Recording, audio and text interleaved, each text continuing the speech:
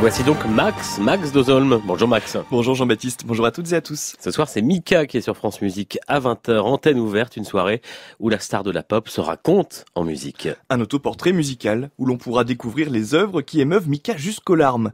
Au programme du Nina Simone, du Charlie Parker, mais aussi de nombreuses œuvres lyriques de toutes les époques.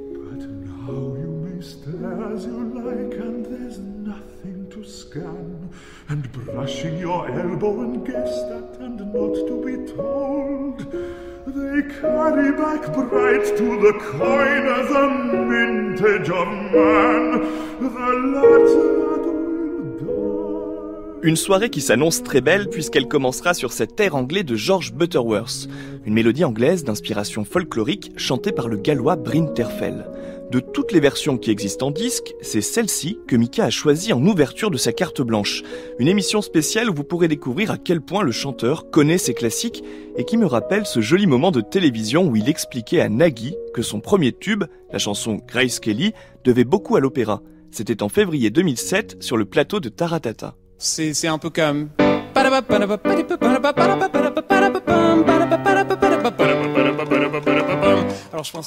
Pour écrire le titre qui le propulsera au rang de superstar, Mika s'est donc inspiré du célèbre air Largo al Factotum, extrait du Barbier de Séville de Rossini.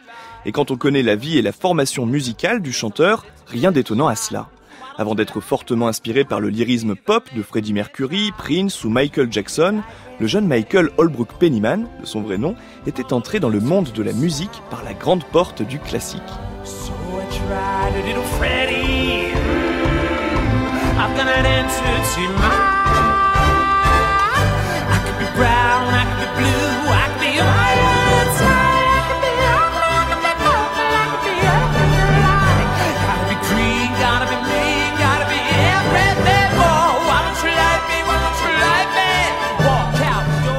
Ses premiers cours de piano et de chant lui ont été donnés en Angleterre par une chanteuse russe qui a fait naître en lui une véritable passion pour l'opéra.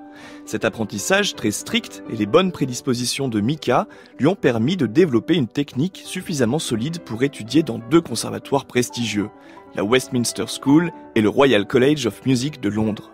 À seulement 11 ans, Mika ne chantait pas encore du rock, mais il chantait dans les chœurs d'un opéra de 1919 de Richard Strauss, La femme sans ombre.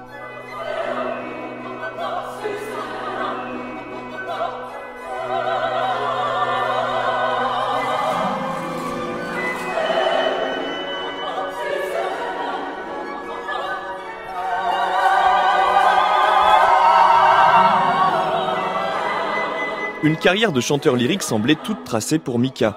En 1998, il donnait en création mondiale une pièce du compositeur japonais Dai Fujikura intitulée Children, dans laquelle il était soprano soliste. C'était quelques mois seulement après que les micros du label Chandos n'enregistrent sa voix dans un opéra anglais de Ralph Vaughan Williams, The Pilgrim Progress.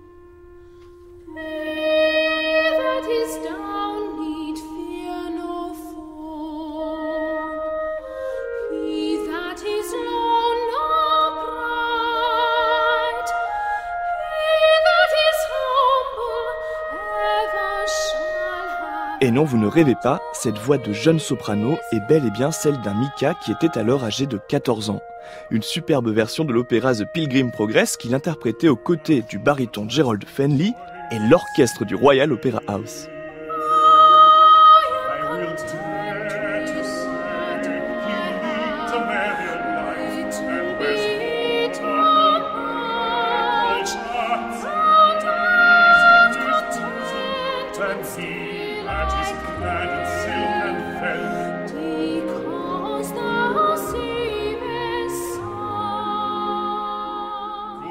Un extrait de l'opéra de Pilgrim Progress de Ralph Vaughan Williams, une version de 1998 éditée par le label Chandos et donc euh, où Mika euh, interprète le rôle d'un jeune garçon maxi classique et le versant classique de la star pop.